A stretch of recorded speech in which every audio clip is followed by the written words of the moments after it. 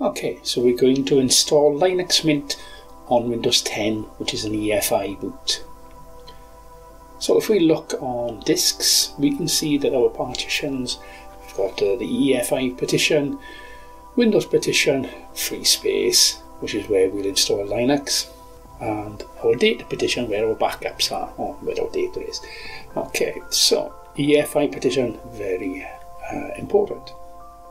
That, uh, that 4K, uh, 4 gigabyte disk is our USB stick. Uh, if we start the installer,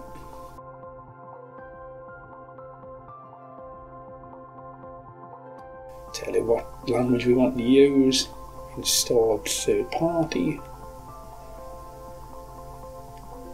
wait for it to progress.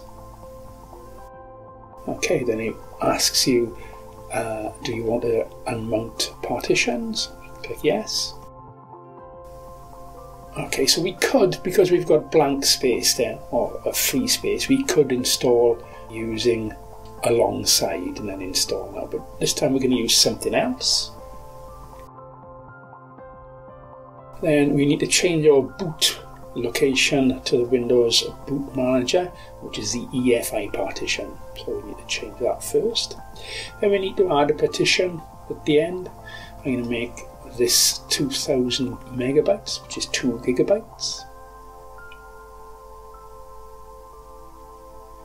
Wait for that to progress. I'll set up the partition.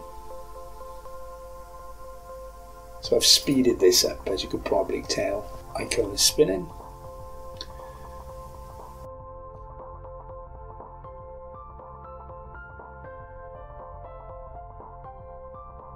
And now we're going to create another partition in the large free space. This time we're going to make it around about 50,000 megabytes, which is 50 gigabytes. We use slash as a partition type uh, or mount point, and that will make a root partition. So on this install, we're going to have swap root and a home partition. Again, we wait for it to confirm that those partition details. Okay, then in the free space, we're going to use all the free space and we're going to make a home partition. Again, this needs to write the information.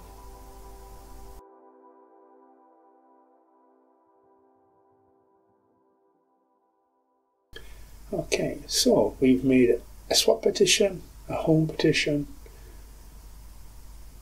swap, root, and home, and we've changed where the bootloader is going to go. Click install, then click continue, and then it'll ask you some questions, your location, your name, uh, what you want to call your computer. Okay, and then it'll ask you for a password and then I require my password to log in. The uh, installation will continue. I click restart now and then you can see that we've gone onto the installed hard drive or installed system. I'm just going to turn Bluetooth off a minute. And then if we go to disks, we can see that we've this is an install Okay, so that's your EFI partition.